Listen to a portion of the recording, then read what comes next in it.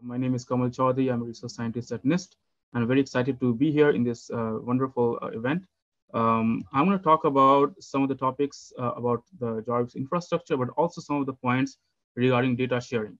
So first, I'm going to talk about this, the outline, uh, how, what kind of um, types of materials data we are talking about, and some of the components for, in my opinion, ideal data sharing. Okay. So when I talk about data in material science, there can be different types, in my opinion. There can be uh, microstructure, atomic structures, so the molecule structure, protein structure. It can be images from microscopy, TEM, STM. It can be spectra, X-ray diffraction, neutron, photoluminescence. It can be text. So different modularity of the data. And there can be different types of access, whether you want to download the data as a supplementary information of a paper or a, a Figshare repository, or you want to have a REST API or web interface, right? So these are some of the broad categories of materials data and access. Uh, if you want to know more about this modularity of the data and uh, different type of uh, availability of this data set and tools, I will highly encourage you. There's a review article we wrote on the AI application for deep learning uh, for material science, uh, which has a set of all the uh, one of the some of the most known, well-known data sets and tools. So feel free to check it out. with that, I want to point out. I think most of us might be aware of this, but also I still want to point out there are different types or different platforms for people to share data, such as Materials Data Facility, uh, NIST uh, Materials Data Curation System, which is user Django and interactive app, NIST Science Material Data Facility, which we just heard. There are like Figshare, Zenodo, uh, OPTIMADE, and so on, uh, and, and, Google Drive and so on. But uh, today I'm going to focus on especially the NIST MDCS, Materials Data Curation System, and one of them is Jarvis. So with that, uh, Jarvis is, is an infrastructure uh, with several components, and it's available at the, the URL jarvis.nist.gov. It has several components such as density functional theory, force field, machine learning, and so on. Uh, it was established in 2017, and uh, we have more than around 20,000 users worldwide. We also organize several events, Quantum Matters for Material Science, AI, MS, and Jarvis School. And uh, it is really viewed as one of the golden standard of material data, It's some of the words we are receiving. So we appreciate the community appreciation of uh, all this uh, effort. And this is a brief history of the entire infrastructure. So we started with 2017 with evaluating force field and 2D material search. Then in 2018, we uh, expanded a DFT using van functional for uh, elastic property of 3D and 2D materials. We tried to solve the underestimation of band gap problems in DFT using uh, TBmBJ and developed a large data set of accurate band gaps. And we developed the CFID descriptor back then. In 2019, we emphasized the importance of K-point in DFT databases and developed this uh, topological spin orbit spillage criteria for topological materials and solar cell efficiency. And 2020, we did the uh, DFT and ML approach for 3D and 2D materials, uh, and uh, uh, for NMR, NQR, and piezoelectric materials and heterostructures. 2021 was special one. We did the ALIGNN atomistic line graph network and atomistic quantum computation anomalous quantum confinement effect, and atom vision project uh, for STEM and STM repository, uh, the tight binding project for the entire periodic table, TB3Py, metal organic framework for uh, direct air capture, Wannier tight binding Hamiltonian, and we integrate with OPTIMADE.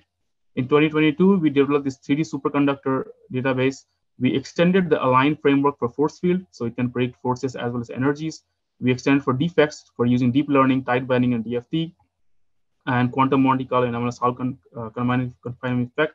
Uh, we also developed the CHEM NLP, CHEM, uh, Natural Language Processing uh, Library, uh, and we are holding several Jarvis School at several national labs and universities. So feel free to reach us out if you're interested. In 2023, we are doing the, the 2D superconductor project. it's coming up to the Jarvis leaderboard as a, a, platform to compare different data set and tools on one framework and the Jarvis inverse design.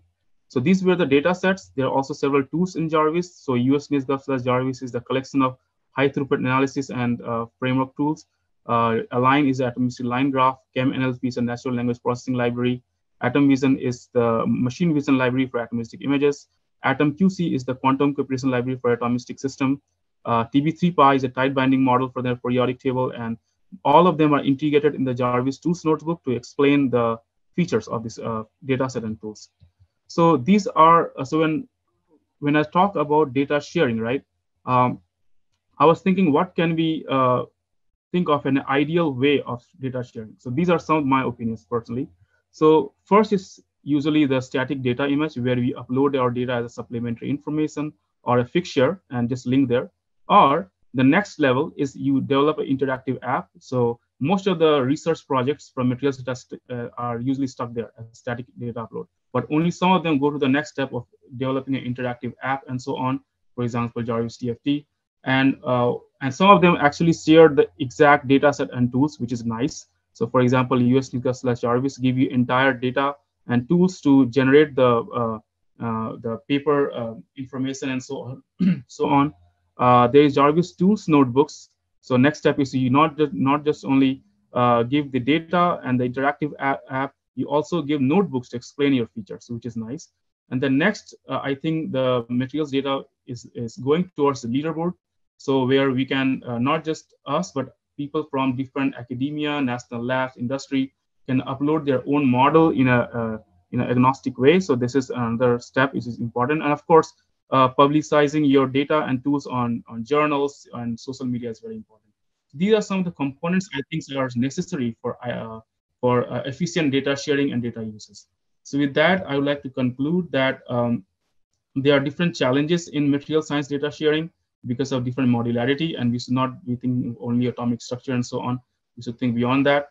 Uh, and we talked about some of the components of data sharing. Uh, also point out these are some important links, uh, mostly on the usnistgov slash uh, all the repositories. These are my email and social media, LinkedIn, feel free to reach out. Also, I'd like to advertise NIST NRC postdoc uh, opportunity in our group. So if some of you have US citizenship and would like to work with us, feel free to reach us out. With that, uh, I would like to thank you for your time and the organizers for inviting me here. I, I really enjoy it uh, so far. Thank you.